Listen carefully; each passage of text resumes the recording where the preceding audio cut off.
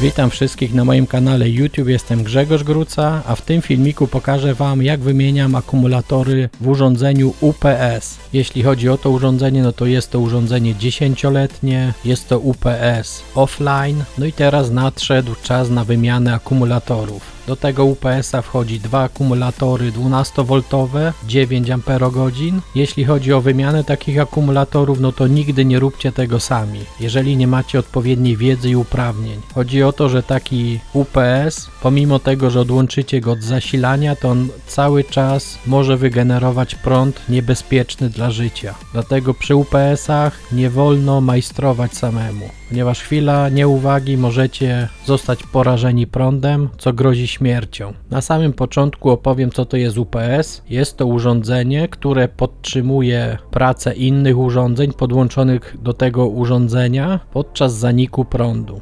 Jak to u mnie działa? UPS jest podłączone do zasilania. Do UPS-a jest podpięty komputer i jeden monitor. Jeżeli mamy zanik napięcia, UPS zaczyna piszczeć i to znaczy, że on pobiera teraz energię z akumulatora. Ja wiedząc o tym, zapisuję wszystkie dokumenty, jakie mam otwarte i projekty, wyłączam komputer i czekam aż przyjdzie zasilanie elektryczne z sieci. Bez podłączonego UPS-u odbywało się to w ten sposób przychodził zanik prądu, komputer od razu się wyłączał, projekty, które miałem otwarte nie zostały zapisane. Jeżeli nie miałeś włączonego autosave'u, no to jeżeli przez 3 godziny projektowałeś coś, no to miałeś 3 godziny stracone, ponieważ musiałeś to od nowa odtworzyć. Większym problemem było to, jeżeli plik był zapisywany podczas zaniku prądu, no to często jest tak, że plik też był uszkodzony, a co za tym idzie, traciliście cały projekt. Czyli na przykład projektowaliście coś miesiąc czasu, włączyliście na przykład save, i w tym momencie mieliście zanik prądu, no to traciliście cały miesiąc. Chyba, że robiliście backupy w chmurze czy na serwerze NAS, ale to już jest inna bajka. Jeśli chodzi o tego typu urządzenie, to nie w każdym domu takie urządzenie jest.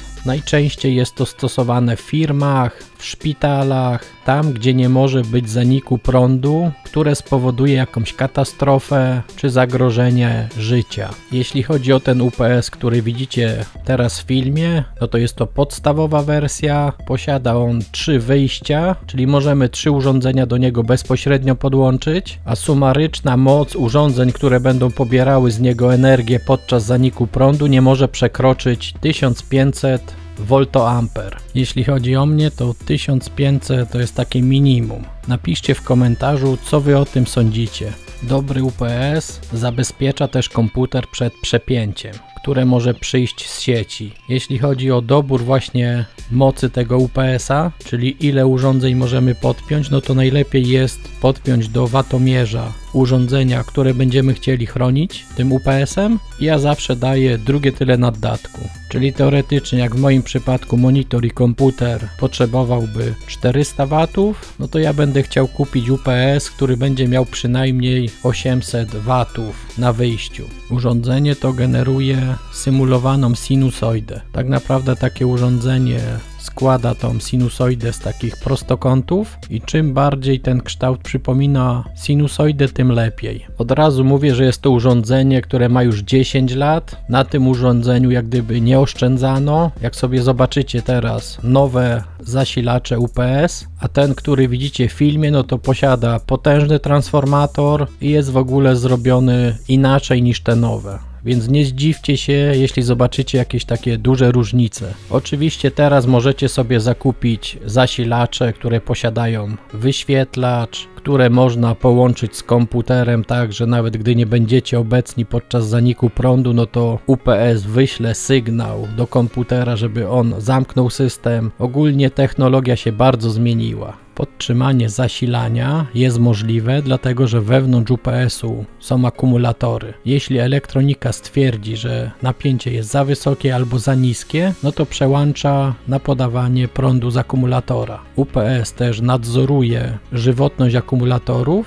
w moim przypadku, jeżeli stwierdzi właśnie, że akumulator już jest gotowy do wymiany na nowy, no to zasygnalizuje to świecącą diodą. Rozpakowałem nową baterię, Pamiętajcie, że jeżeli będziecie zamawiać baterie, to dobrze jest jeszcze porównać gabaryty tych baterii, ponieważ może być to 12V 9 Ah, ale może się okazać, że jest to większa lub mniejsza obudowa tego akumulatora. Dlatego po porównaniu parametrów trzeba też zmierzyć wymiary tego akumulatora. Odpinam UPS-a od zasilania. Pamiętajcie, że wewnątrz, pomimo tego, że akumulator będzie już na wykończeniu, ma on odpowiednią moc, żeby Was po prostu zabić. Dlatego nie wolno otwierać obudowy UPS-a. Tak jak tutaj widzicie, w tym UPS-ie nie ma akumulatorów, bo ja je wyciągnąłem wcześniej i dałem do utylizacji po prostu. Sprawdzam końcówki przewodów, które będą wpięte w akumulator. Chodzi o to, że jak są one skorodowane, no to trzeba je wyczyścić, a w razie czego wymienić na nowe, jeśli już są zużyte. W moim przypadku tylko czerwony przewód, ten plusowy był bardzo zaśniedziały, więc pozbyłem się opaski termokurczliwej, wyczyściłem szczotką drucianą i szpikulcem osad, który odłożył się właśnie na tym złączu. Docisnąłem to złącze kombinerkami, żeby był lepszy styk. I teraz widzicie, zakładam opaskę termokurczliwą. Bardzo jest ważne, żeby tą opaskę założyć, ponieważ jeśli tego nie zrobicie, no to jest duże prawdopodobieństwo, że dotkniecie gdzieś do obudowy i będzie zwarcie.